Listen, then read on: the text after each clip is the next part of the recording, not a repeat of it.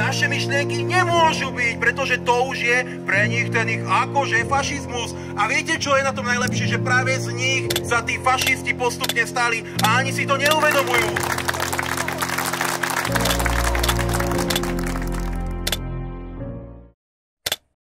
Tvrdia, že prinesú zmenu. Namiesto toho však útočia na bezbranných, podvádzajú a prekrývajú Spomeňme si na tých, ktorí sa prizerali. Na tých, ktorí boli ticho. Na tých, ktorí nič Nikdy nespravili. ale neváhali vyzdvihovať štát, Na tých, ktorého čo len pokrútili hlavu. prezident 70 Spomeňme si na tých, Neváhali, kto prišiel.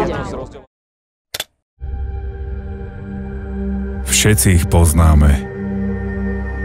Zmenili kabáty, no zdvihnuté pravačky ostali.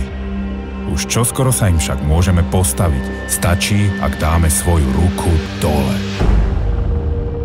Dajte 29. februára ruku dole proti fašizmu aj vy a zachráňme spolu proeurópske smerovanie Slovenska.